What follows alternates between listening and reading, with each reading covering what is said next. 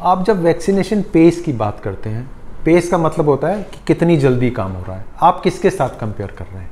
आप हिंदुस्तान को, हिंदुस्तान की जनता को, हिंदुस्तान के माहौल को, एक हिंदुस्तान जैसी कंट्री के साथ कंपेयर कीजिए। वैसी कंट्री तो है नहीं। इतनी जनता तो सिर्फ़ चाइना में मिलती है, वहाँ से जो खबर आती है, हमें पता नहीं, सच है कि झूठ है। आप ये देखिए 48 करोड़ लोगों को वैक्सीनेट कर दिया गया है।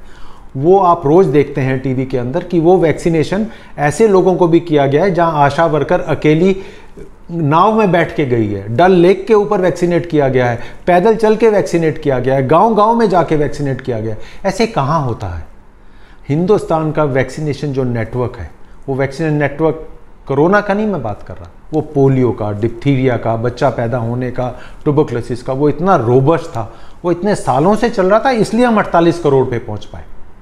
और ये 48 करोड़ हम हमेशा गलतियाँ ढूंढ पाएँगे। गलतियाँ ढूंढना बड़ा अच्छा है। हमें हर चीज़ पे गलती ढूंढनी चाहिए, क्योंकि अगली बार हम उस पर इम्प्रूव करें।